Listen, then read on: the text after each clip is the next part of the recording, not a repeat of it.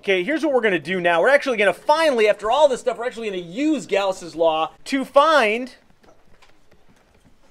field due to point charge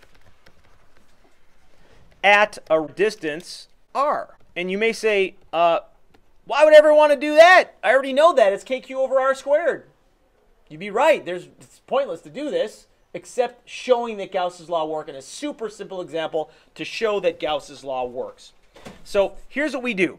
We start with a charge q. Let's use a positive charge right here. Point charge q plus q right there. There's our point charge.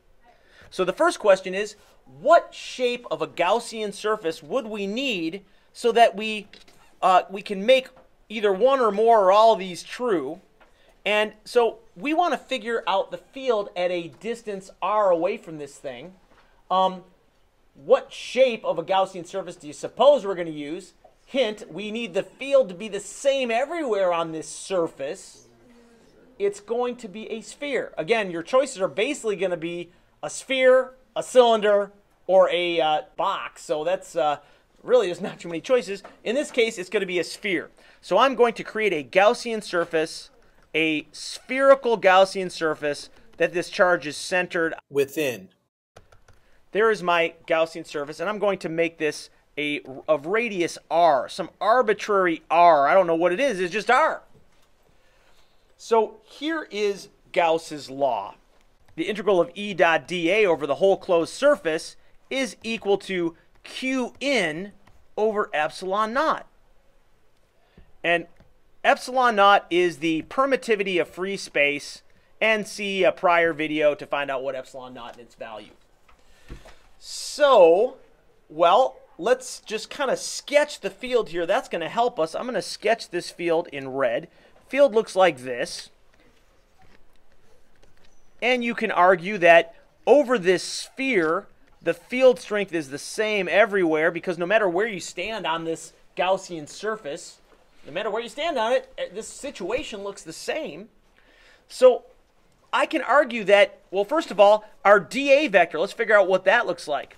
dA vector is just a little teeny, here's our dA, our dA vector. Which way does the dA vector point? It's away from the center. Points, or radial would be a better word, I think. It's radially outward. This is our dA vector right there. Here's our, in red is our E vectors. Or these are E field lines, but they, you could put an E vector at any one of these points. So what is for every single point on here, no matter where it is, everywhere on here, here's our dA vector right there. There's the dA vector. I can't draw a straight line, but there's dA vector right there. Here's the dA vector right there. Here's the dA vector right there. For every single one of these, what's the angle between the E field and the dA vector? Theta is always zero here. So E dot dA, I can replace that with just EDA. And that's important because we just we don't want that cosine in there. It's just going to be EDA like that.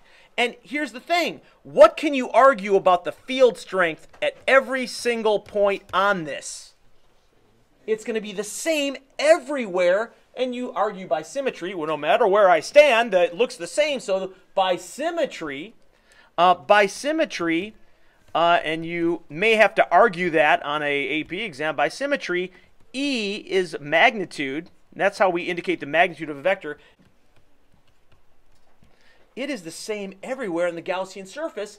Good news, if it's really a constant, what can you do in terms of the integral here?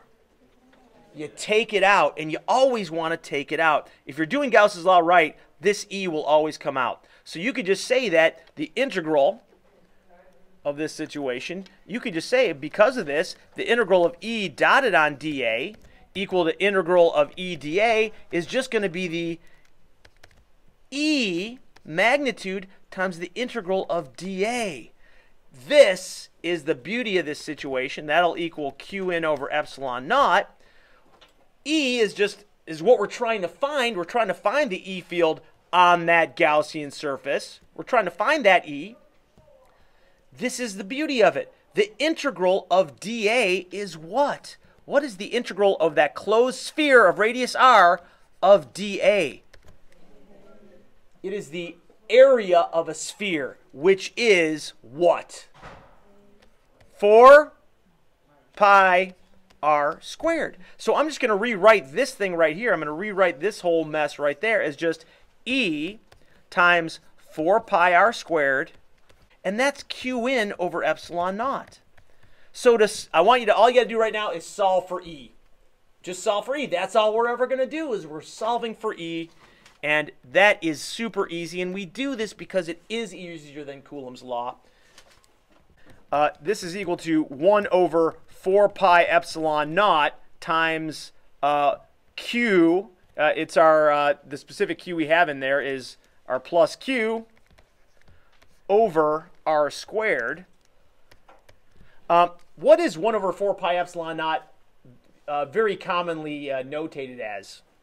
That's our K. So notice we just we didn't prove anything fancy. We just proved that the electric field at a distance r at uh, r is equal to kq over r squared. Nothing new. So probably not the best use of Gauss's law. It works. Now let's actually use Gauss's law for something really interesting. And this is where Gauss's law really kicks in with all the power that Gauss's law has to offer.